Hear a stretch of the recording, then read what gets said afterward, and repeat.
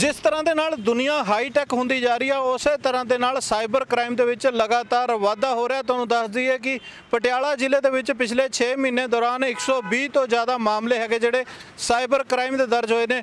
ਹੁਣ ਗੱਲ ਇਹ ਆਉਂਦੀ ਹੈਗੀ ਹੈ ਕਿ ਜਿਹੜੇ ਹੈਕਰ ਹੈਗੇ ਨੇ, ਉਹਨਾਂ ਦੀ ਹਿੰਮਤ ਇੰਨੀ ਪੈ ਚੁੱਕੀ ਹੈ ਕਿ ਉਹਨਾਂ ਵੱਲੋਂ ਪੰਜਾਬ ਦੇ ਮੁੱਖ ਮੰਤਰੀ ਅਤੇ ਮੌਜੂਦਾ ਮੈਂਬਰ ਪਾਰਲੀਮੈਂਟ ਸ਼੍ਰੀਮਤੀ ਪ੍ਰਨੀਤ ਕੌਰ ਦੇ ਅਕਾਊਂਟ ਦੇ ਵਿੱਚੋਂ ਬੈਂਕ ਮੈਨੇਜਰ ਦਾ ਹਵਾਲਾ ਦਿੰਦੇ ਹੋਏ 23 ਲੱਖ ਰੁਪਏ ਉਡਾ ਲਏ। ਬਹਰਾਲ ਤੁਹਾਨੂੰ ਦੱਸ ਦਈਏ, ਇਸ ਦੇ ਵਿੱਚ ਪੁਲਿਸ ਵੱਲੋਂ ਮਾਮਲਾ ਦਰਜ ਕਰ ਲਿਆ ਅਤੇ ਸੂਤਰਾਂ ਵੱਲੋਂ ਜਿਹੜੀ ਜਾਣਕਾਰੀ ਮਿਲ ਰਹੀ ਹੈਗੀ ਆ, ਉਸ ਦੇ ਵਿੱਚ ਇਹ ਪਤਾ ਲੱਗ ਰਿਹਾ ਹੈਗਾ ਕਿ ਇਹ ਹੈਕਰ ਹੈਗਾ ਜਿਹੜਾ ਝਾਰਖੰਡ ਦੇ ਰਾਂਚੀ ਦੇ ਜਮਾਤਾੜਾ ਦਾ ਰਹਿਣ ਵਾਲਾ ਅਤੇ 3 ਅਗਸਤ ਨੂੰ, ਬੀਤੇ 3 ਅਗਸਤ ਨੂੰ ਜਮਾਤੜਾ ਪੁਲਿਸ ਵੱਲੋਂ ਇਸ ਨੂੰ ਗ੍ਰਿਫਤਾਰ ਕਰ ਲਿਆ ਗਿਆ ਸੀ। ਔਰ ਅੱਜ ਜਿਹੜੀ ਪਟਿਆਲਾ ਪੁਲਿਸ ਪਾਰਟੀ ਹੈਗੀ ਹੈ, ਸਾਈਬਰ ਕ੍ਰਾਈਮ ਸੈੱਲ ਦੇ 6 ਲੋਕ ਜਿਹੜੇ ਰਾਂਚੀ ਗਏ ਹੋਏ ਨੇ, ਉਹਨਾਂ ਵੱਲੋਂ ਅਦਾਲਤ ਦੇ ਵਿੱਚੋਂ ਇਸ ਦਾ ਪ੍ਰੋਡਕਸ਼ਨ ਵਾਰੰਟ ਲੈ ਲਿਆ ਗਿਆ ਔਰ ਉਸ ਤੋਂ ਬਰਾਮਦਗੀ ਕਰਵਾਉਣ ਦੇ ਲਈ ਕੱਲ ਉਸ ਨੂੰ ਪਟਿਆਲਾ ਲੈ ਜਾ ਸਕਦਾ। ਬਹਰਾਲ ਤੁਹਾਨੂੰ ਦੱਸ ਦਈਏ ਕਿ ਇਸ ਹੈਕਰ ਵੱਲੋਂ ਪ੍ਰਨੀਤ ਕੌਰ ਨੂੰ ਇਹ ਹਵਾਲਾ ਦਿੱਤਾ ਗਿਆ ਸੀ ਕਿ ਉਹਨਾਂ ਦੀ ਸੰਸਦ ਦੀ ਜਿਹੜੀ ਤਨਖਾਹ ਹੈਗੀ ਹੈ, ਉਹ ਉਹਨਾਂ ਦੇ ਅਕਾਊਂਟ ਦੇ ਵਿੱਚ ਪਾਉਣੀ ਹੈਗੀ ਹੈ ਔਰ ਇਸੇ ਦੇ ਚੱਲਦੇ